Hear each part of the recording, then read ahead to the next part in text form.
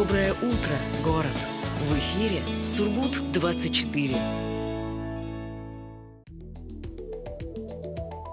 1 января в России отменили привычные бумажные больничные. Все они теперь выдаются только в электронном виде. Листы, открытые в 2021 и закрытые в новом году, будут приняты к оплате. Пособия по ним рассчитываются по ранее действующим правилам, говорится в официальном телеграм-канале Фонда социального страхования. При этом в ведомстве обратили внимание, что продлеваться прошлогодние бумажные больничные в этом году будут только в электронном виде. По требованию пациента на бумаге ему могут предоставить лишь выписку с номером цифрового документа. Врачи подписывают документ электронной подписью и размещают в информационной системе ФСС, которой с 1 января должны быть подключены все работодатели. Через нее они узнают об открытии, продлении или закрытии листка нетрудоспособности.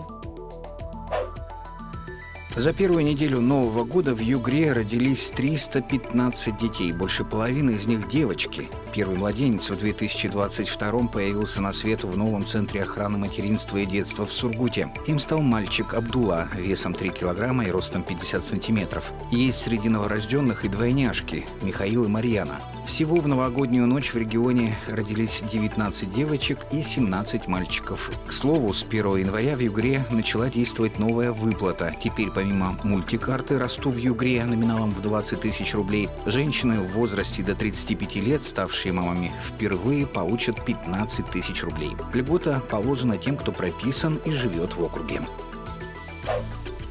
Авиакомпания ЮТР запустила новый рейс Сургут-Тобольск. Первый АТР-72 по новому направлению вылетел в понедельник в 8.15 и приземлился в духовной столице Западной Сибири в 9.45. По данным официального сайта перевозчика, рейсы выполняются три раза в неделю – по понедельникам, четвергам и субботам. Минимальная цена без багажного тарифа в одну сторону – 1250 рублей. По тем же дням в Тобольск и обратно до 25 марта будет курсировать авиарейс из Нижневартовска. Первый матч года Баскетбольный клуб «Университет Югра» в чемпионате Суперлиги принимал на своей площадке гостей из Москвы. Столичная команда МБА расположилась в середине турнирной таблицы, тогда как сургутяне по итогам первой половины турнира застолбили за собой четвертую строчку. Более молодые спортсмены из Первопрестольной шли в лидерах на протяжении практически всей игры. Хозяева же в последней минуте уступали с разницей в 6 очков. Но из этой сложной ситуации сумели найти выход. Четыре штрафных подряд забил капитан Югор Оренбургской команды Сергей Токарев, а на исходе основного времени новичок Сургутян Дмитрий Дойников сравнял счет 82-82. У Сургута еще такая всегда стиль игры, всегда такой стиль игры, что тягучий.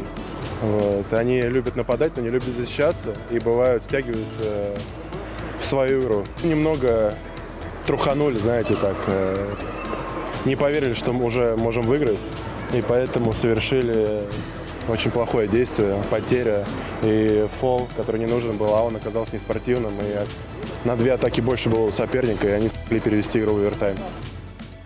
Ситуация аналогичная последним мгновением основного времени матча была и в дополнительной пятиминутке. Сургутяне за 12 секунд до сирены уступали с разницей в 2 очка. Однако довести атаку до броска в ключевом эпизоде не получилось. Американец Малик Тренд, получив мяч, отдал слишком сильную передачу. Потеря оказалась фатальной. Университет Югра уступил 90-93 картины, инсталляции и арт-видео. Культурный центр «Порт» презентовал новую выставку экспериментального искусства югорского художника Ивана Демьяненко.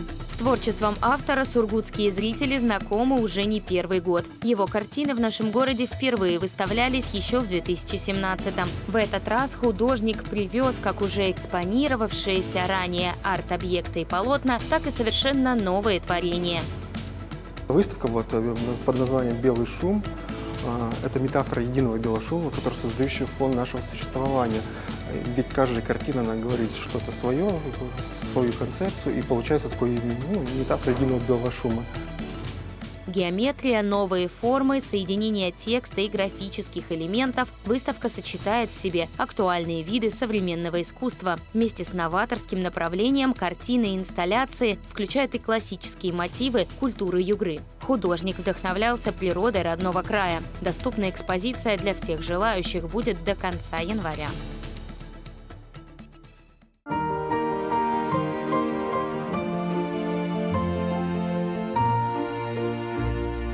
Телеплюс – тарифы со множеством опций. Выбери подходящий по скорости или включи интернет на максимум. Наслаждайся качественным телевидением. Используй приложение для просмотра на смарт-телевизорах или приставках. Услуги видеонаблюдения «Безопасный двор», IP-домофония и IP-счетчики включены в тариф. Узнай подробности на сайте teleplus.ru. Русский хит. Только русские. Только хиты. The first radio station to play my song. Energy. Number one for new hits. Between me and my fans, it's energy. I love energy. Hit music only. Every hour. Что такое русский хит? Это новое слово в мире радио. Никакой политики и никаких плохих новостей. Яркие, прогрессивные и понятные мелодии и танцевальные хиты, которые так любит наша аудитория. Русский хит — это еще и мультимузыкальные сегменты эфира, когда вы слышите музыку, музыку и только музыку. Настройся на самый русский хит.